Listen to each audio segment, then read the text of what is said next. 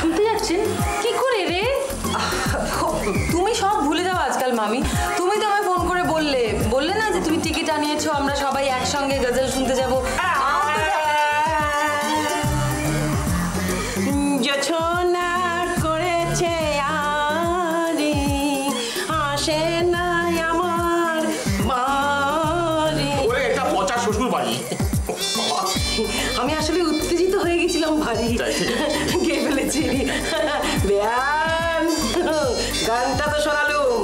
বলুন তো কার গান?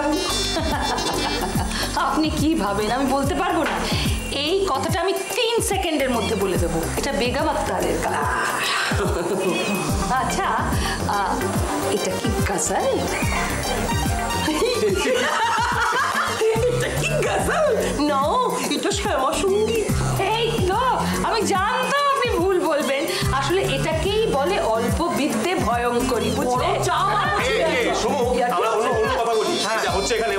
না হবে। আচ্ছা বর্ষায় এবারে ইলিশ কেমন উঠেছে? প্রায় দশ বারো কেজি ইলিশ উঠেছে। বড় বড়। এই মামি আর যদি খিচুড়ি আর ইলিশ মাছ ভাজা খাওয়া যায়?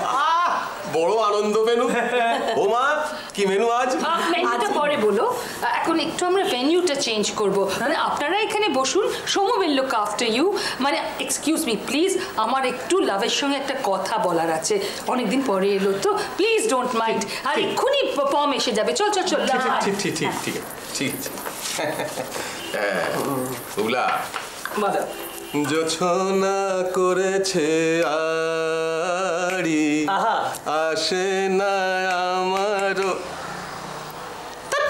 আচ্ছা লাভ তোর কি আক্কেল বলতো? তুই বলছিস তোর শাশুড়িকে নিয়ে আমরা গজল শুনতে যাব? হাউ টেরেবল একটু আস্তে কথা বলো মামি প্লিজ কি মুশকিল তুমি তো ব্যাপারটাই বুঝতে পারছ না। মায়ের বেচারি ইচ্ছে উনি একটু গজল শুনতে যাবেন। আর এদিকে আমি বলতেও পারছি না যে মামি আপনার জন্য টিকিট পাঠাননি মা। দেখো সেই জন্য আমি আর উত্তম একটা সিদ্ধান্ত নিয়েছি। উত্তম যাবে না বলছে হ্যাঁ? তার বদলে মা যাবেন। ঠিক আছে মামি? ঠিক আছে। তাহলে উনি যান উনি গেলে আমি যাব না। মামি কেন ছেলে মানুষই করছ? আরে আমি তো বলে দিয়েছি না যে মামি আপনার নাম করে টিকিট পাঠিয়েছেন।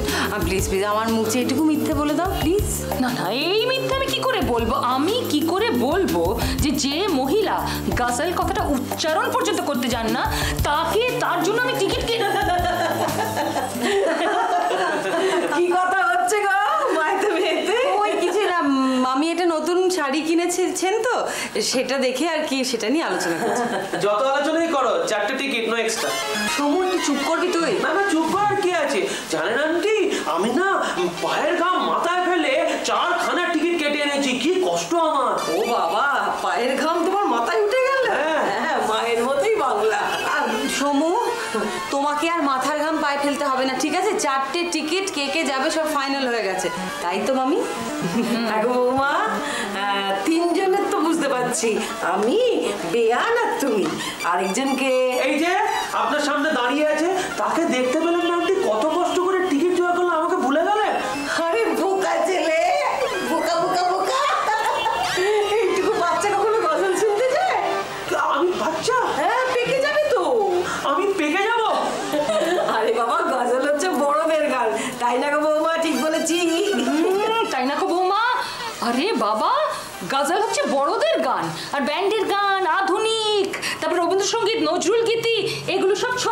গান তাই তো? আপনার গানের যা জ্ঞান দেখছি না আমি ডিসাইড করেছি কাল বিকেলে আমি আপনাদের বাড়িতে যাব। আপনার সঙ্গে আমি গান নিয়ে আলোচনা করব। আর না মামি আসলে কালকে মা আর আমি একটু বেরবো আমাদের একটু কাজ আছে। No no no no no no excuses বেরিয়ে তুই ফেরত এলে আমি আসব। আর এখন আমি কথা বলতে পারছি না কারণ এখন আমাকে গিয়ে ডিনারটা রেডি করতে হবে। অরুণবাবু বাইরে বসে আছেন ওকে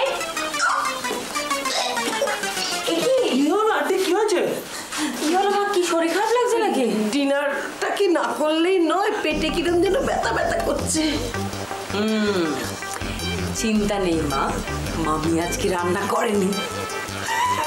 কি খিদে পেয়েছে কাল রাতে লতা মাছের কালিয়াটা রেঁধেছিল বটে। চমৎকার। মেয়েটা এমনি ফটফট করলে কি হবে? গুণের মেয়ে শিকার করতেই হবে। ওর মাছের কালিয়ার কথায় মনে পড়ে গেল এই কুচবিহারে যাত্রা করতে গিয়ে এই একটা মাছের কালিয়া খেয়েছিলাম। আহ, একেবারে ত্যার হয়ে গেছিলাম। আসলে কি জানো বৌদি রান্নাটা হচ্ছে একটা আর্ট। এই যে বেনদি রান্নাকে উত্তমবাবু এত প্রশংসা করতেন তার কারণ হচ্ছে বেনদি রান্নাটাকে না আর্ট হিসেবে দেখতেন। হুম এই নিয়ে চারটে হুম সঙ্গে পায়চারি ভুরু কুঁচকোনো কি ব্যাপার বলো তো বৌদি? গুরুর নাম করলাম তাতেও তোমার চিত্তচঞ্চল হলো না। ব্যাপারটা কি? আবার একটা হুম। মা কি হলো? সন্ধে হয়ে যাচ্ছে যে। হ্যাঁ? জল খাবারটা কখন খাবেন আপনি? সন্ধে হয়ে আসছে? হ্যাঁ। ও মাগো বে- কটা বাজে? পাঁচটা বেজে গেছে। ঘুরি বাবা ঘড়ির ভেতর তো ঘোড়া ঢুকেছে গো টকবগিয়ে ছুটে চলেছে। বৌমা তোমার শাশুড়ির আচরণ আমি তো কিছু বুঝতে পারছি না কি অস্বাভাবিক লাগছে। তুমি কিছু বুঝতে পারছ? না সত্যিই তো। মা আপনাকে তো অস্থির লাগছে কেন বলুন তো? না অস্থির কি আর স্বাদে লাগছে মা? ওই তোমার মা কখন আসবেন? ও এই ব্যাপার? মা সত্যি আপনি বসুন তো এখানে। না না বসুন বলে কি আর আপনি বসা আগে। মুশকিল। আমি কি করে বসি বলো দেখিনি? দাউ দাউ করে আগুন জ্বলছে দাউ দাউ কোথায় গো কোথায় গো? আমার অগ্নি পরীক্ষা। ও তোমার অগ্নি পরীক্ষা? কেন? সীতার মতো তোমাকে কি সতীয় প্রমাণ দিতে হবে নাকি? কোথায় সীতা? কোথায়? না এখানে তো হবে কোথায় বৌদি? কোথায়? বিবেক এসে দুটো পয়সা দিয়ে বের করে দাও তো। তোমার আবার কি হবে বাবা? তোমার ভারে অগ্নিদেব চাপা পড়ে যাবে। ছোটকা প্লিজ আপনি চুপ করবেন একটু। মা কি হয়েছে বলুন তো? পারবে। হ্যাঁ? পারবে। কি? তুমি পারবে। একজন বাইরের মহিলার কাছে তোমাদের এই এই মহিলাটি মাথা নিচু হয়ে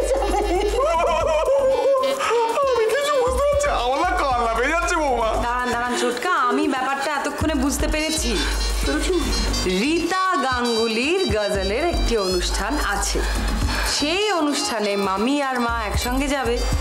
এবার গজল নিয়ে আলোচনা করার জন্যই মাম্মি আজকে এখানে আসবে। কি বুদ্ধিমা রীতা কলকাতায় এসেছে? তুমি চেনো? উমা গান বাজনার লাইনে আছি রীতাকে চিনবো না।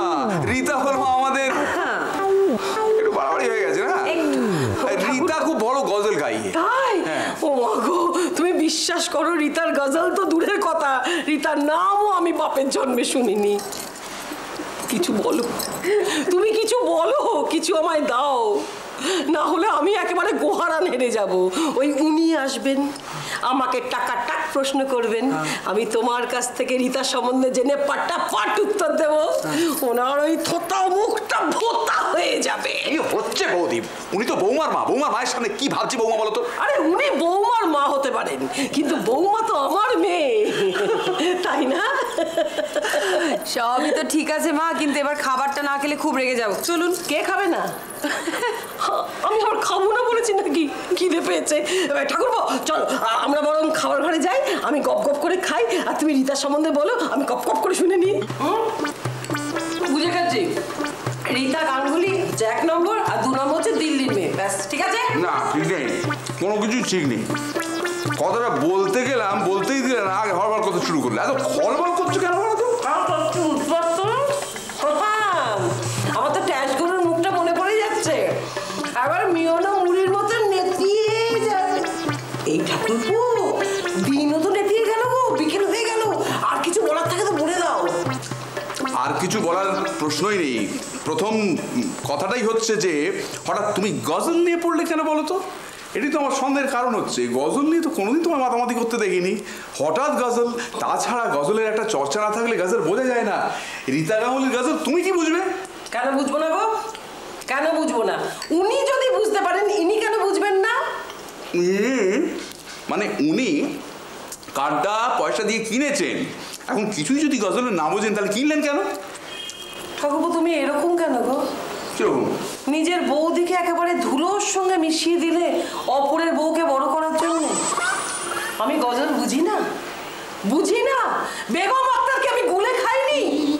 ওরে বাবা বেগম আক্তারের যে গান তুমি জানো সে গান সবাই জানে। সেই তো বলো না। করেছে আরি।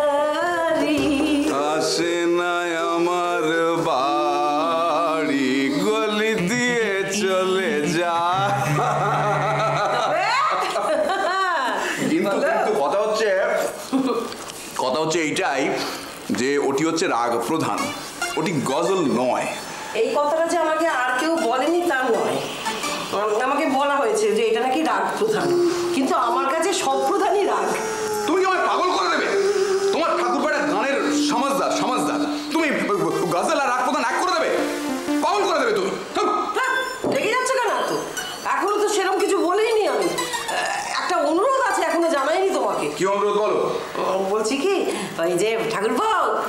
কি সুন্দর দেখতে লাগছে তোমাকে। ওই বেয়ান এসে চলে যাওয়ার আগে অবধি তুমি বাড়ি থেকে বেরিও না। কেন? মানে উনি আমাকে হ্যাটা ফ্যাটা করে ছোট করে দেবেন তো? তুমি আমাকে ল্যাটা মাছের মতো দাঁড় করিয়ে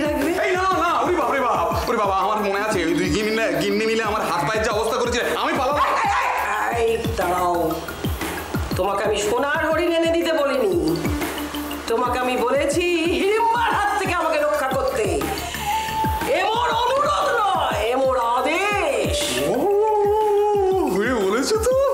এই ডায়লগখানা তো লিখে ফেলতে হচ্ছে তো কাল্টিভেট করতে হচ্ছে। দারুণ বলেছ।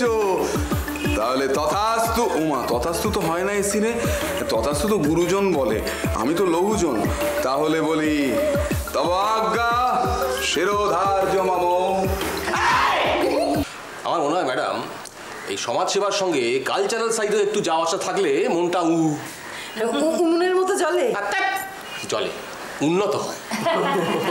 কিন্তু আপনি একটা কথা মনে রাখবেন আমি এই যে গান শুনতে যাই সেটা কারুর কথা শুনে হুজুগে যাই না। আমি গান খুব ভালোবাসি তো তাই ভালো গান হলেই ছুটে ছুটে যাই। কেন? বেয়ান ছুটে ছুটে যান কেন? আপনার কি পেছনে কেউ তাড়া করে? আপনি তো কিছুই বোঝেন না। কিন্তু আপনাকে বোঝানোর দায়িত্ব আমার নয় তাই না লাভ? আসলে কি জানেন তো ভালো গান হলে সবাই ছুটে ছুটে যায়। তাই আমিও ছুটে ছুটে যাই। হ্যাঁ হ্যাঁ বলছিলাম, আপনি তো ভালো গাজল গান শুনতে ভালোবাসেন আর কি। মানে রীতা গাঙ্গুলির গান শুনতে যাচ্ছেন তো না? হ্যাঁ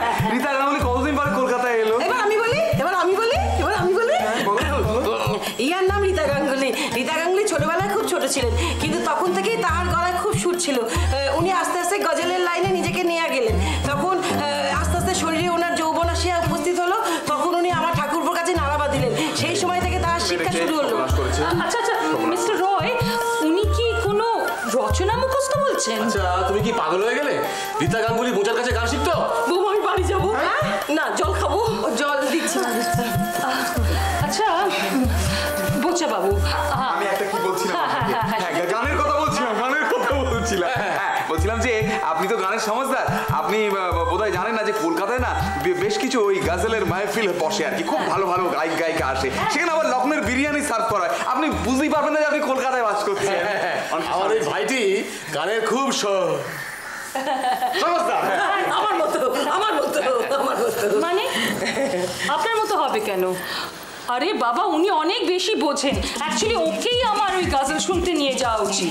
কিন্তু মামি তুমি কিন্তু মাকে জোর করেছ তোমার সঙ্গে যাওয়ার জন্য হ্যাঁ? আরে বাবা আমি কি তখন জানতাম যে উনি কিছুই জানেন না গানের কোন গানকে কি বলে সেটাই জানেন না। কে কে কে বলেছে আমি জানি না? ওই তো আপনি তো বলতেই পারলেন না। আমি যখন বললাম না বেগম আক্তারের একটা গান আপনি তো বলতেই পারলেন ওটা কি গান। সেটা কোন গানটা কোন গানটা কোন গানটা নিয়ে কনফিউশন আমি বলছি জোছনা করেছে আরি। হ্যাঁ তা ওই গানটা কি গান? ওই গানটা কি গান? হ্যাঁ গজল নাচে কি? ওটা কি শ্যামা সংগীত না পল্লী গীতি? এইটুকুও জানেন না আপনি। ওটা একটা হিন্দি গানের বেঙ্গলি ভার্সন। ওটা না হিন্দি গানের বাংলা সংস্করণ নয়। ও ওটা মানে ওটা রচয়িতা এবং সুরকার একজন বাঙালি। তার নাম রবি গুহ মজুমদার। কি হলো? বেলুন কেটে গেল। দেখেছেন? দেখেছেন আমার দেওর কত জানে? আমার দেওরই যদি এত জানে তাহলে তার বৌদি কত জানে? দেওর অত জানে বলে বৌদি অত জানবে? আচ্ছা বলুন তো বলুন আমাকে বলুন এই রীতা গাঙ্গুলির গুরু ছিল রীতা গাঙ্গুলির গুরু তো ইয়ে ছিল ওই যে আরে ওই ঠাকুর সিবে সিবে সিবে আরে এই, এই তুই সিবে সিবে করে কাকে ডাকছিস সিবে শিবে সিদ্ধেশ্বরী দেবী সিদ্ধেশ্বরী দেবী আর বে বে বে বে গো মাতা no no no no no no no no no এটা mister Roy is not fair লাভ এটা ঠিক নয় আমি জানি আপনারা আরে ফাটিয়ে দিলে বৌদি। হাটের মাঝখানে?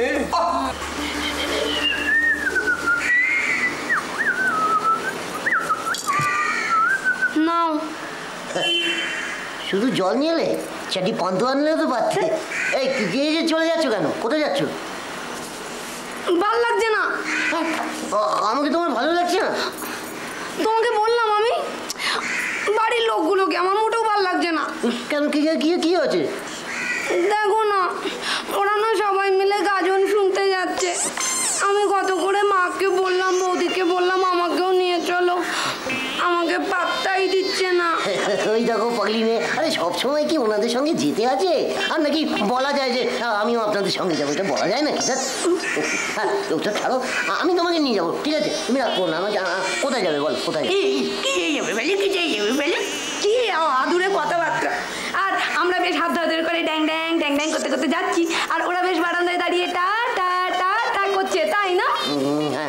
সেটা কি করে হবে? আর আমাদের কপালে তো সেই হওয়ার নয় ভয়ঙ্কর ম্যাডাম দুজন। তা গাজনে যাচ্ছেন সেটা তোমাকে কে বলল? মা বলল বৌদি বলল ওরাই বলল গাজন শুনতে যাচ্ছে। গাজন তো গ্রামে হয় গ্রাম দেশে হয় সে তো চৈত্র সংক্রান্তির সময় হয়। কে বোঝাবে ওদের বলো? ওরা তো সব জানে না কে বলবে? জানো তো আমাদের গ্রামে না সুন্দর গাজন হয়। ওই সবাই না শিব সাজে দুর্গা সাজে কালী। আমার আমার না একটা গান মনে পড়ছে গাজনে। তোমায় গিয়ে শোনাবো গো? হ্যাঁ হ্যাঁ হ্যাঁ, শোনাবে শোনাবে শোনাবে শোনাবে। তবে এখানে না চল চল চল চল, আমি তোমার কোলে মাথা রেখে তোমার গান শুনব। ওটো এখানে বসো। আরে এখানে বসো। শোনো না শোনো না। একটা গান মনে পড়ছে, তোমাকে গেয়ে শোনাচ্ছি। না, গেয়ে না, এমনি শোনাচ্ছি। ওই শিব ঠাকুর মা দুর্গাকে বলছে, বুঝলে তো? মান করো না গণেশ জননী, দেখি তোমার চাঁদ বদনী।